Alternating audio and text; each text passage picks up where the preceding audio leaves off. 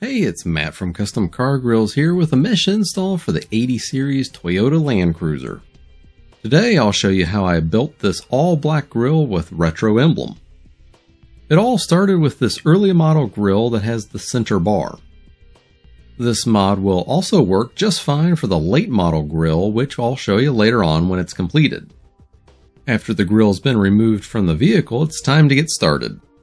The first step is to cut the bars around the perimeter to remove the center of the grill. Just be sure to preserve a fair bit of the plastic around the lower and side mounting tabs. To do the cutting, I'll grab my open-ended saw blade and get to work. The vertical bars I'll try to cut fairly close to flush to the edge without digging into the edge. Of course, the exception to that will be the lower mounting tab. In that area, I'll cut around a little higher than needed and come back to trim it down later. Here's a closer look at how my cut looks on that lower edge. Similarly, on the side mounting tabs, I want to keep a lot of the surrounding material so that there's some strength to it when we're done. I'm cutting at a slight tilt so that I'm cutting into more of the thick bar than the tab itself. Now, of course, this will be a little different for a late model owners since they don't have the big bar here, but it's a similar principle that follows nonetheless. From there, I'll take a top-down cutting approach, getting close to the edge, but staying maybe an eighth of an inch away so that I don't cut into the edge itself. At this point, the side mounting tab should still be attached to the outer frame, but free from the bulk of the inner area. It's time to knock out the rest of these connecting bars and get the center out. There's just a handful on the upper sides and top edge. While we are preserving the lower and side mounting tabs, the one on the top edge needs to be removed. I'll just simply make a cut right through the tab with the saw, and that will be the last cut on this step. The center part should be freed up now and can be lifted out like so and thrown away. Here's how my grill frame looks like now. This is a pretty rough cut, but it's got it where it counts. The mounting tabs are still in place, but there's a few things to tackle in the upcoming steps. The tabs need to be refined, and the frame needs to be sanded, as well as the back edge needing to be trimmed down. Now's the time to change tools, and I'm going to grab my Dremel and equip their number 543 cutting and shaping wheel. This is where a bit of patience and attention to detail is needed. The end goal here is to keep the full thickness of the back of the tab while trimming off the surrounding plastic that covers the front. This takes multiple angles of approach and a steady hand to accurately get correct cuts needed to make this look right. It's important not to cut the tab off, so just be mindful of where the cutting wheel is at all times. Next up is a similar cut on the side tabs, and I found it much easier to get these cuts from the back of the grill by flipping it around like so. From here, the cut I'm doing is pretty simple and easy to do, but keep an eye on it to make sure that you're not cutting in too deep. The tricky part here is getting the cut that's flush near the tab. I've got an educated guess as to where it needs to be trimmed, but I'm also flying blind a little as well. This particular section might be best to trim conservatively first and then slowly refine it down with small revisions later. Okay, now that that's done, here's how the side of the grill is looking. This looks pretty rough, so let's start to clean up some of this excess plastic to make trimming of the depth of the grill a little easier. I'll just use the top of the shaping wheel to shave down the remaining plastic that's protruding from the edge. Please note that I'm getting this relatively flat. I'm not trying to cut past the edge at all though. Having access to an electric or pneumatic sander can speed this up quite a bit. I made short work of this with some 80 grit sanding discs on a cordless grinder, but it can be done by hand if a tool like this is not available. Afterward, I also cut off this little tab that was on the top edge, making it flush with the rest of the grill. With that done, I'll grab some low adhesion masking tape that's exactly 3 quarters of an inch wide. We'll be using this as a guide on where to trim the grill. The tape should be placed on the inner edge, up close to the front face, right before the curve of the grill. In short, when we're finished, we want the leftover part of the grill to be 3 quarters inch depth from the front all the way around. To get around some of the curves, I needed to break up the tape into smaller sections to make it around the corner. Obviously, I'm not going to tape over the side mounting tabs. Those need to stay exactly where they are. The lower mounting tab, on the other hand, will need a little bit of trimming on the sides, so I'll mask off that area on where not to cut. You can make it wider than needed and trim it back narrower later if you're not sure on how wide to make it. Now on to the cutting part. I'm using my Dremel along with the cutting and shaping wheel attachment again and just cutting close to where the tape line ends. Patience and a steady hand are keys to success here when looking to make some clean straight cuts. If you're not familiar with these types of mods, it might be best to back away from the cut line a little bit, maybe a 16th of an inch or so. That way, you'll have a little bit of margin for error in case the cut is made a little bit deeper than it should be. Any waviness with the cuts can be sanded out later, but it's best to just make some straight cuts initially so that minimal sanding is needed later. On the back edge of the grill that we're working on, there's some connecting material that extends to the front. This needs to be trimmed down so that the edge that was just cut can be released from the grill frame. The side cut on this early model grill is easy and can be knocked out like so. With the late model version, owners will need to cut a little bit further towards the tab than what I'm showing here because the side didn't have the big bar. For both early and late models, the cut below the side mount tab should be about the same. It's a tricky angle of approach, and be sure not to damage the mounting tab during these steps.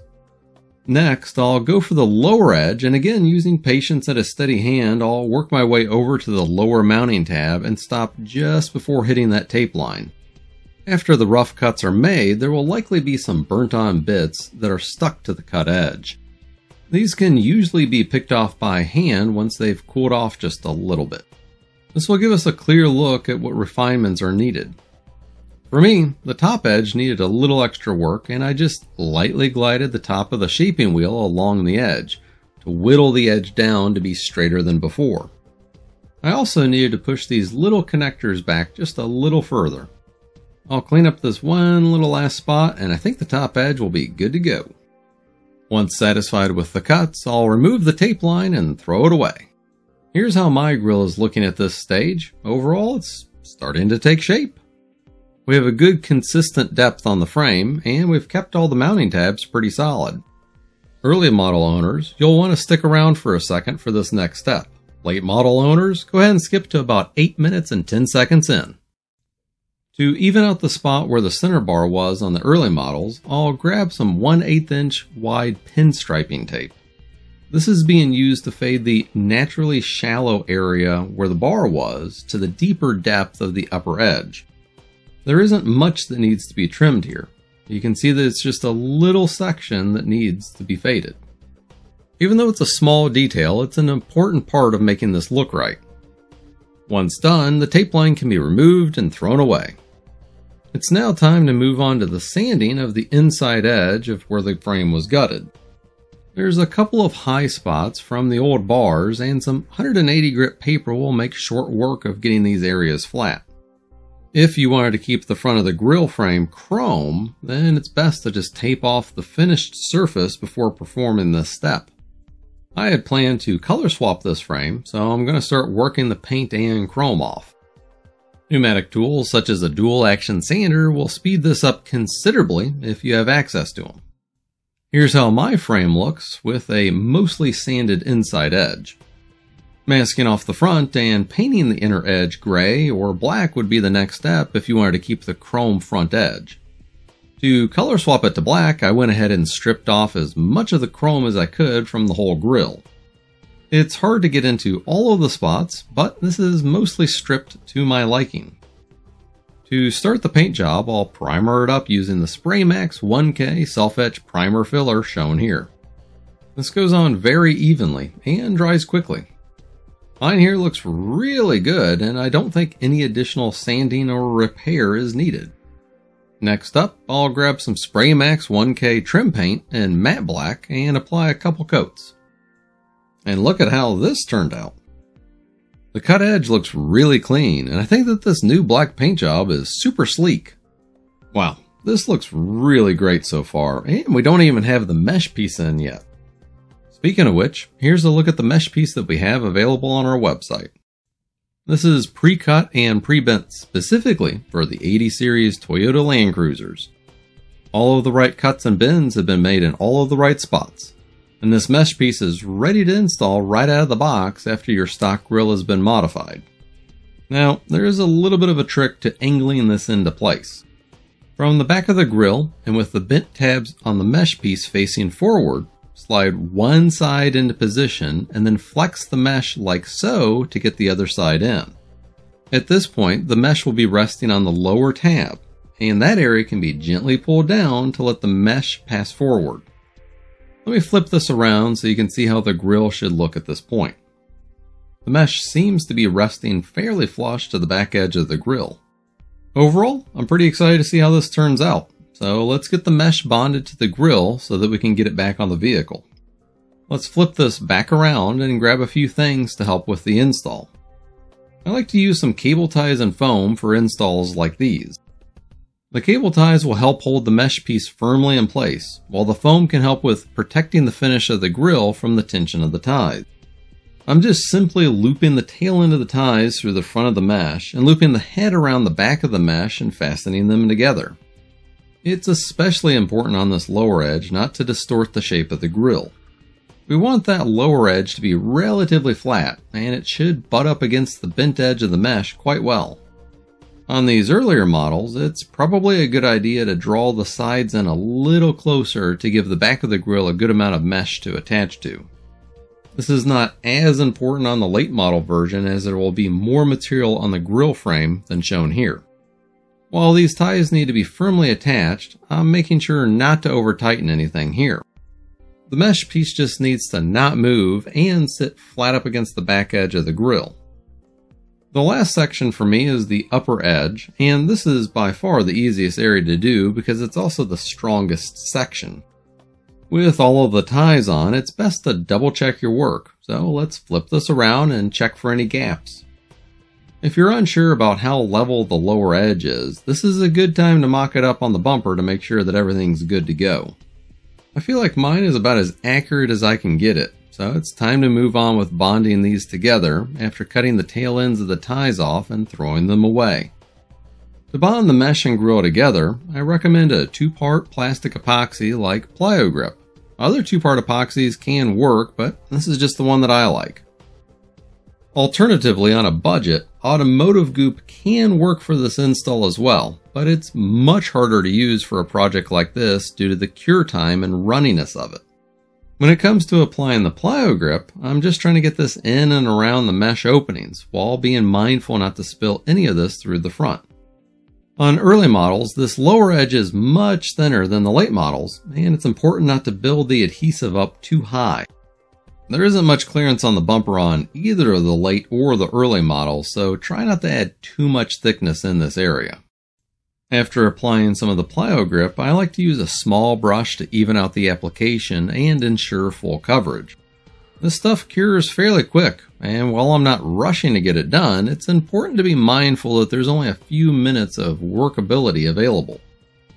Once it sets up, this will give us a good firm bond between mesh and grill. For me, I like to wait about 30 to 45 minutes when using the Plyo Grip Plastic Repair number 3 for it to cure. And afterward, I'll come back and cut off the ties and throw them away along with the protective foam pieces that were protecting the finish. The mesh install is now complete. Let's flip it around and see how it turned out. Wow, this looks great. The mesh transforms that old looking grill into something slightly more modern, and the chrome to black swap is a big departure from what we're used to seeing on these. This looks like a seamless blend between mesh and grill frame. I can't see any remnants of the installation that's behind the frame. Of course, in addition to this early model grill that I've been working on, I also made a late model grill too. Here's how the same type of build looks for that one. These mesh pieces and grills are not interchangeable in between early and late models, so please be aware of that when doing this mod. Now, back to the grill that we've been working on.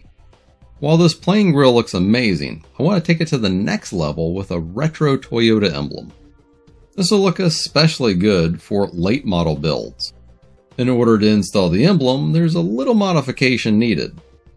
On the back of these emblems, there's three mounting studs, These don't line up with anything on the mesh and aren't practical to try to use. These mounting points will need to be cut off, and the Dremel along with the cutting wheel is a great tool to use for that job. Once the emblem is flat on the back, I'll try to eyeball getting this thing centered up. And after I think I have it close, I'll grab a small ruler and start to nudge it back and forth until I have it equally spaced top to bottom. Let's go ahead and mark that with a piece of tape to preserve the alignment. Now we've got half of this centered up, and next up I'll try and get the left to right alignment set up.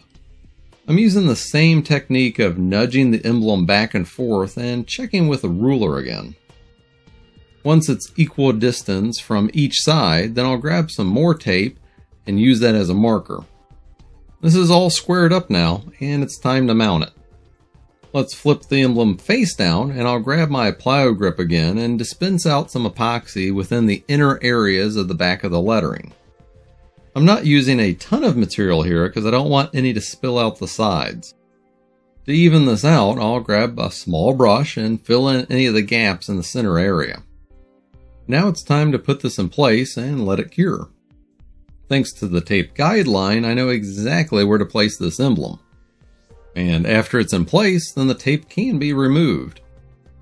Watch the emblem for a little while just to make sure it doesn't shift around at all. If the mesh is curved forward a bit, you might want to consider weighing the emblem down with some sockets or a wrench just to make sure that it stays in place. After it's cured, then we're all done, and this grill build is completely ready for reinstallation back on the vehicle. I just can't get over how awesome this grill is looking. And I know you want to see a couple pictures of how this looks installed, so here we have it. This is what it looks like on an 80 series Land Cruiser. What a huge difference this makes for being a relatively simple mod with basic tools. This is a great project for a weekend build and it doesn't break the bank. Well, that's all I have for this video. I hope you liked it, and if you have any questions, feel free to ask me, and thanks for watching.